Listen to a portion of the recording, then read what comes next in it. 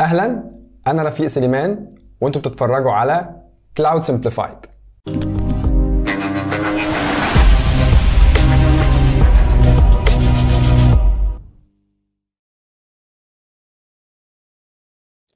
أهلا بيكم في فيديو جديد من ال Cloud Practitioner Express وفي الفيديو ده هنكون بنكمل اللي ابتديناه في الفيديو اللي فات. لو تفتكروا الفيديو اللي فات شرحنا فيه ال support plans المختلفة اللي متقدمة من AWS ولو تفتكروا آخر اتنين support plans اللي هما ال Enterprise On-Ramp وال Enterprise شرحنا فيهم أو قلنا بيبقى عندي حد اسمه ال technical account manager بيساعدني لو أنا عندي آه case معينة آه هو اللي بيتابع معايا ال case دي. وقلنا مش بس بيتابع ال cases أو لما يبقى عندي مشكلة لأ كمان بيشتغل معايا بطريقة proactive إن هو يكون بيعمل معايا well architected reviews يعني يتأكد إنه ال solution بتاعتي دي according لل best practices طيب إزاي بيعمل ال well architected reviews دي؟ بنستخدم هنا اللي بنسميه ال well architected framework طيب إيه بقى فكرة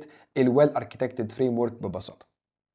فكرته أنا لو عايز أعمل design أنا لو عايز implement solution أو architecture على ال cloud منين أعرف إيه ال best practices لما أجي أعمل design أو لما أجي أ run application على ال cloud منين أقدر أعرف ال best practices أو إيه أحسن طرق تخليني أعمل design ل application على ال cloud ده ببساطة ال well architected framework AWS عملت ال well architected framework ده علشان تساعد أي solutions architect سواء في الأول بيبتدي لسه يعمل design جديد أو already أنا عندي application بس عايز أتأكد إن ال application دي running as expected فبعمل well architected review زي ما شفنا باستخدام ال well architected framework.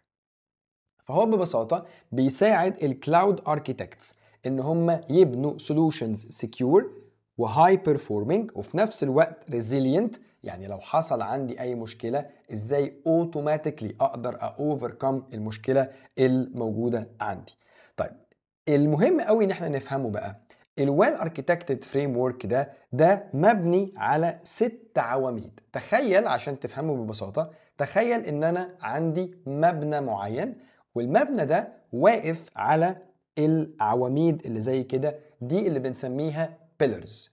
ولما بقول كلمة عمود أو بقول كلمة pillar معناه إنه الحاجة دي مهمة جدا. الحاجة دي أنا ما أقدرش أشتغل ال application بتاعتي من غير ما أفكر فيها. إيه الست عواميد الأساسية اللي أنا المفروض أفكر فيهم لما أجي أعمل design أو أ run application على ال cloud كالتالي. أول حاجة اسمها operational excellence وهنشرحها. بعدين ال security وده دايما بنقول عليه في AWS ده يمكن أهم حاجة أو أول حاجة أفكر فيها هي ال security بعد كده ال reliability بعد كده ال performance efficiency بعد كده ال cost optimization وبعد كده ال sustainability خلينا نشرح واحدة واحدة بمنتهى البساطة. أول pillar أو أول عمود أنا محتاج أفكر فيه وأنا سواء بعمل design أو براجع ال solution بتاعتي هو اللي بنسميه operational excellence طيب إيه فكرة ال operational excellence بمنتهى البساطة؟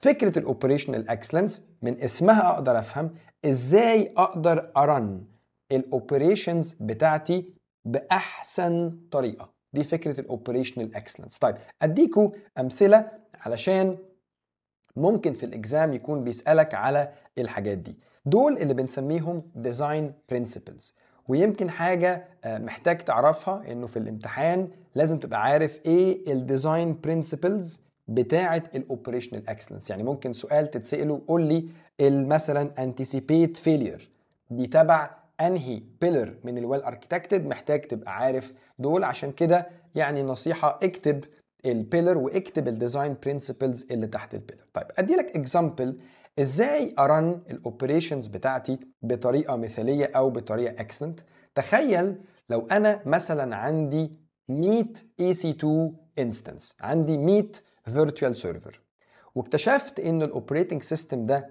بتاعهم محتاج أعمل له patching لأنه مثلا بقى دلوقتي vulnerable أو ممكن يبقى بيحصل عليه attacks فأنا محتاج إن أنا أعمل patch أو update ال operating system عندي 100 EC2 instance. طيب إزاي اعمل الكلام ده ك operations؟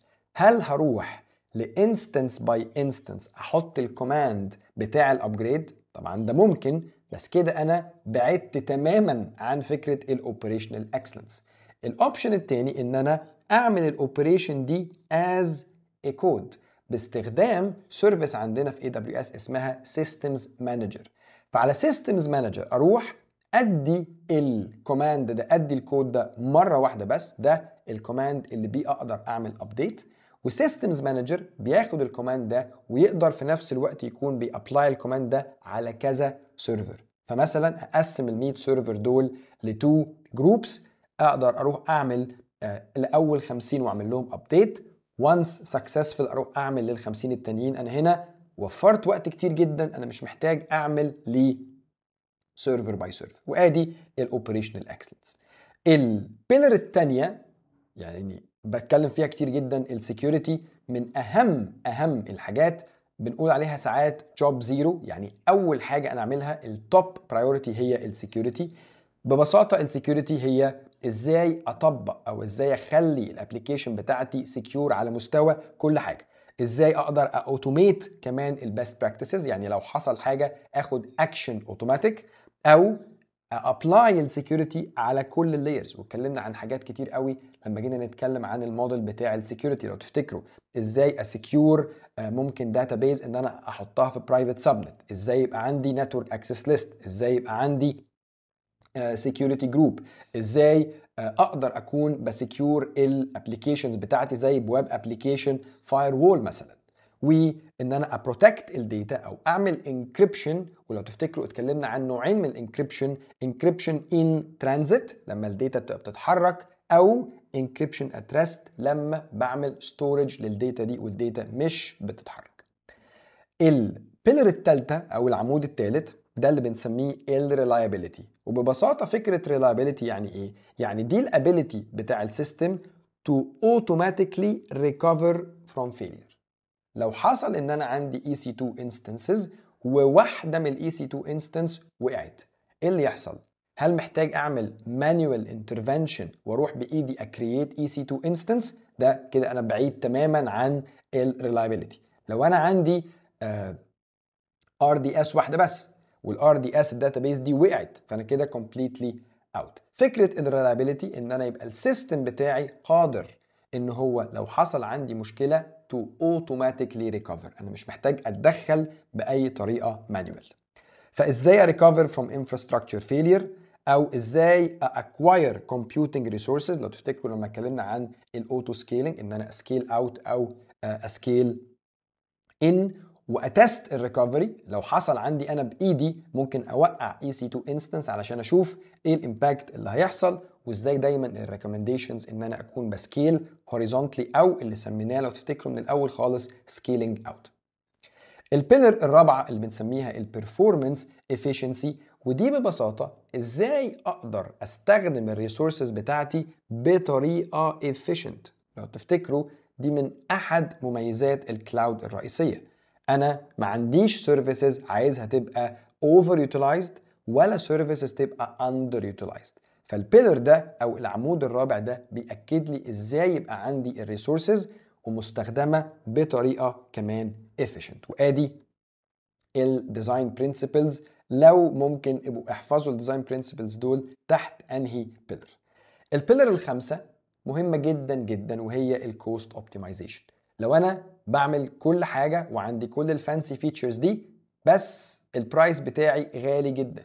هتبقى مشكلة. لازم وأنا بعمل design أكون بفكر كمان في ال cost إزاي أقدر أعمل design وال design ده يبقى cost effective فأنا إزاي أقدر أ run systems to deliver ال business value خلي بالكم من حاجة مهمة جدا. cost optimization مش معناها إن أنا هضحي بال business value علشان أدفع أقل. cost optimization إزاي أقدر أ deliver ال full business value بس بأقل سعر. فعشان نفهم ال pillar دي صح دي مش معناها إن أنا بضحي بال performance عشان بس أقلل في ال cost لا إزاي أقدر أ deliver بأقل سعر ممكن. وآدي ال design principles بتاعتها أنا حطيتها عشان تكونوا بتحفظوها. آه، الحاجة الأخيرة اللي هي ال sustainability دي مهمة جدا بقى ودي اتضافت جديد ال pillar اللي اتضافت جديد AWS ضافتها في آه، ديسمبر 2021 آخر pillar اتضافت. ودي آه، محتاج أبقى بفهم كويس قوي إنه أنا لما باجي أ run data center ال data center ده بيستخدم resources وال resources دي بتطلع carbon emissions ال carbon emissions دي بتأثر على الكوكب والأرض اللي إحنا عايشين فيه. فكرة sustainability إزاي أنا أكون وأنا ب run ال application بتاعتي واخد بالي كويس قوي من التاثير اللي بيحصل على ال environment اللي أنا فيه. ليه بنقول ال case دي؟ لأنه AWS حطت rules strict جدا إنه مفروض by 2030 كل ال data centers بتاعت AWS هتبقى running accordingly renewable energy. هتبقى شغالة ب renewable energy. طبعا مهمة جدا في ال sustainability أو بتقلل جدا ال carbon emissions بتاعتي. مش بس كده. AWS كمان ابتدت ب 2030 و AWS سابقة ال plan دي بخمس سنين يعني دلوقتي by 2025 كل ال regions وال data centers بتاعة AWS هتبقى running على 100% أو 100% renewable energy يفرق الكلام ده في إيه؟ يفرق الكلام ده إن هو مش بيأثر بتأثير سلبي على ال environment طيب بالنسبة لي أنا ك end user يفرق الكلام ده إيه؟ يفرق إنه لما أجي أ run ال application بتاعتي لو أنا بقارن ه run ال application دي on premise في ال physical data center ولا على ال cloud أنا محتاج كويس قوي أبقى فاهم إيه ال impact من ناحية ال environment لأن لما ه run على ال physical data center أنا هنا ما عنديش 100% renewable energy فأنا عندي impact بال negative بيطلع. فلازم آخد بالي كويس قوي ودي ممكن تبقى حاجة مهمة و decision maker لشركة كبيرة إنه إحنا عايزين نقلل ال impact على ال environment فساعتها هنكون بنروح ال cloud عشان ال cloud هتكون بتوفر نوع من ال sustainability عالي جدا. فمحتاج أعرف ال impact ومحتاج أكون بزود ال utilization في أقل أنواع من ال servers عشان أقلل ال impact بتاعي وأكون باخد بالي من إن ال impact ده أنا يبقى عندي as شركة عندي sustainability goals أنا عارف كويس قوي أنا بعمل إيه وعارف ال impact بتاعي ولو أقدر أقلل ال impact كمان إن أنا أ run ال application دي على ال cloud أكون بعمل كده. بكده نبقى خلصنا الفيديو ده اتكلمنا فيه عن ال Well Architected Framework ببساطة دي الطريقة اللي بيها أقدر أعمل design أو أقدر أتأكد إن ال application بتاعتي أو ال workload شغال according لل best practices على الكلاود أتمنى يبقى الفيديو ده واضح. بليز لو عندكم أي أسئلة اكتبوها لنا في التعليقات. شكرا جدا لحضراتكم.